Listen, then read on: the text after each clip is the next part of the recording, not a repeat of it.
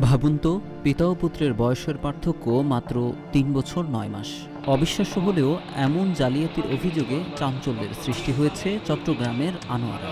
ছত্রিশ বছর আগে মারা গিয়েছিলেন স্থানীয় পীর জমির উল্লার পুত্র সিরাজুল্লাহ। অথচ সেই পুত্রের নামেই নিজের নাম রেখেছেন, বানিয়েছেন জাতীয় পরিচয়পত্র বা এনআইডি কার্ড। এখন ওই পরিবারের একজন সদস্য হিসেবে উত্তরাধিকার সূত্রে দাবি করছেন সম্পদের ভাগ।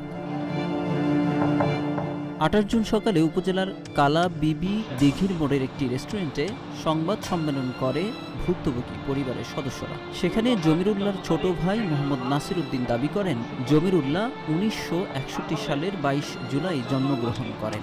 অথচ যিনি তার ছেলে হিসেবে নিজেকে দাবি করছেন, তার জন্ম তারিখ উনিশশো পঁয়ষট্টি সালের এগারোই মে।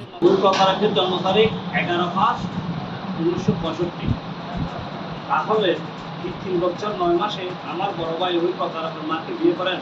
অভিযুক্ত সিরাজুল্লাহ আনোয়ারা উপজেলার বরুণছড়া ইউনিয়নের কালামিয়ার ছেলে।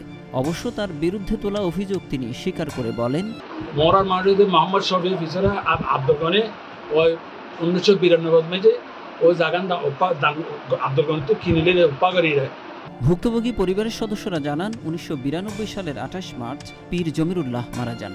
তার মৃত ছেলে সিরাজুল্লাহর তথ্য ব্যবহার করে মোহাম্মদ সিরাজ এনআইডি কার্ড বানিয়েছে। এরপর থেকে বিভিন্ন দলিল দস্তাবেজ তৈরি করে জমি দখলের চেষ্টা করছেন।